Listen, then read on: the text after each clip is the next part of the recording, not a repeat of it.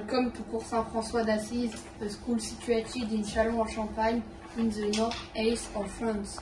In our school, all the people from little garden to middle school all sorted into houses and they come together to compete into challenges in order to earn points for their house. There are six houses of different colors. Where?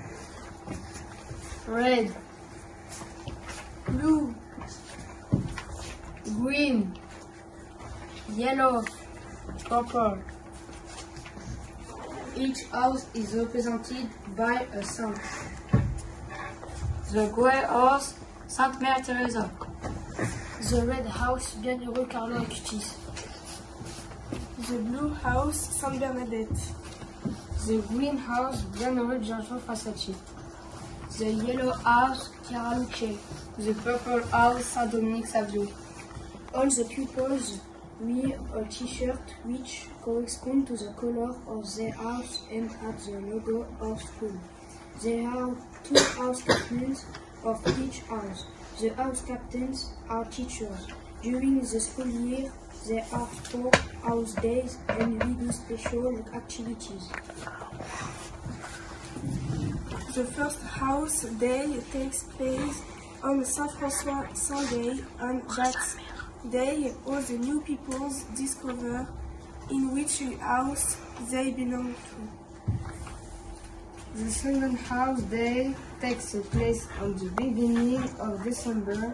The third takes place in April. This year the theme was sport and culture. On the 21st of June, the race competition takes place and pupils have chosen their activities. Table tennis, Mölkky, dance, Mario Kart, puzzle game, chess, drama, cooking, quiz, slam and poetry, singing, board games and art. Sometimes each house has a picnic together. Last year there was a day about disability.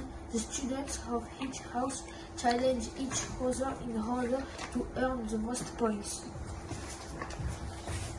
The points are called fioretti, which meant little fire, and in Italian.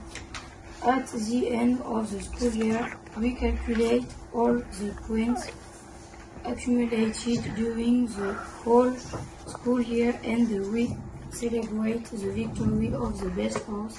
The winner with a trophy which is a statue of Saint François d'Assise which will be put back into play at the end of the following year.